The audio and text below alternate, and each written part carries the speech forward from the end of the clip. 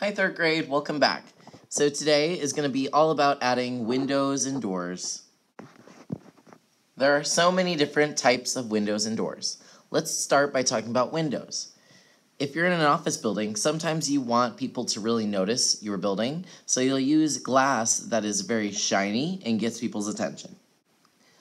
If you work in a bank or maybe it's in a museum, maybe you don't want that many windows. Or if you do want windows, maybe they have bars on them so that people can't break in. Let's go ahead and have a turn and talk with the neighbor. What do you think your building needs as far as windows and doors? Awesome. Your windows and doors do not have to be the ones that we think about all the time. They could be very large, they could be very small, they could be circles, it could be squares. It's totally up to you how you want to create your building. You should have completely covered your building with paint so that you can't see the newspaper anymore. I could probably add a couple layers, but I'm running out of time and I want y'all to know what to do, so we're just gonna ignore that. Today, you are going to make your way to the sink and we're gonna be picking colors for our windows and doors. I'm gonna start with this blue color. I want you to start off with one color at a time, that way we're not wasting paint. If you need help getting any colors, I can help you, but I will also leave the paints out on the sink so that you can go back and pick those up at any time. The requirement for this project is that each side has at least one window you could do as many windows as you want. You could do windows on the top. You could do a door that is a window. I don't know. You can be crazy with this as long as there is a window on each side. You don't have to put one on the top, but as long as each side has a window, you're good. I'm gonna use this for both my doors and windows. I'm making an art supply store, so I think I'm gonna have a really big door right here, windows on top, but there's gonna be enough room for a sign, windows on each side, and then it's two stories, so you'll see two different levels worth of windows. Also, next time we're gonna be adding some decorations with cardboard. You can make a sign, so think about that today. You don't wanna cover this all up with windows and have no room to add decorations next time. You also should have picked up a paintbrush and a paper towel. I will put some water cups on the counter over here that you can pick up if you need to clean your brush. I'm gonna go ahead and get started. I'm gonna work on a window on the second floor. I'm gonna take the smaller brush because that'll be a little bit finer and easier to use to make these windows.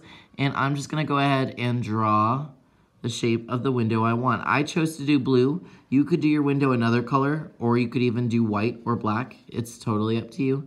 But I'm gonna go ahead and draw my windows on my store. Here I am painting my doors and windows. Some of you may need to use that drawing that we made last time where we planned out our buildings. That's okay, I will have those out as well if you need it. Now I'm gonna go over to the sink and get my next color. Remember, let me know if you need me to get you something. I'm going to use a little bit of black to outline my windows and doors and make them just look a little bit more neat. Some of it's still drying. I may need to go over these colors one more time just so that I can't see through them. They're a little bit translucent. We always clean our brush, dip, let it drip, swirl, let it drip, and then dry off, dab, no, not this kind of dab, this kind of dab, and then you may go into your new color and start painting. So now I'm going back and outlining my windows. My windows turned out to be squares. I want you to go back and add details like doorknobs and whatnot, but remember, maybe yours are circle windows. It could be unique. All right, so I finished my doors and windows. That's what I want you to focus on. If you have some time left over, you can decorate a little bit or show me a little bit more detail. I'm gonna take my palette and get my next uh, couple colors because now I'm gonna mix a little bit. If you do get your own colors, please make sure that you close the lid, turn it upside down when you need it, give it a little shake, and then you're gonna turn it on its side and then barely, barely, barely squeeze out a little bit, just a little bit. I don't want you to waste my paint. I had to buy some of this with my own money. Now I'm back. I'm going to mix a little bit of the black I used with this red, and I'm gonna show you some ways that you can mix the paint. So I'm just going to dip into the black. I'm not gonna clean my brush, I'm gonna be crazy this time, and then mix it with the red. So now it is slowly turning into kind of this dark red, which will be perfect for my bricks. So I'm gonna use this color And what it will do is just kind of hint that my building is made of bricks. So you can be creative, you can mix colors. It's up to you. If you need help making a color, I can help you. That's what I'm here for. I'm here to help you.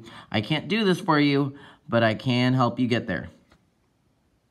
So now I'll add some texture for brick. I want you to be able to express to whoever looks at your building what it is made of. I think that this is all I'm gonna do for now. Next time, remember, we're gonna add a few more details. We can make a sign, we can make a light post, whatever you wanna make, so have that in your brain, but also you have a little bit of homework.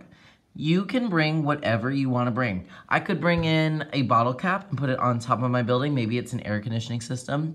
Maybe you have some popsicle sticks at home that you wanna use, or maybe straws, you could build that into something. As long as you bring it to school, I can help you attach it to your building and we can make this creative. Some people wanted to bring Hot Wheels, so if you have like a garage or something or you want to put a car on top of your house, I don't know, we could make that happen. Please bring whatever you would like to bring, but just remember that that is your responsibility, not mine.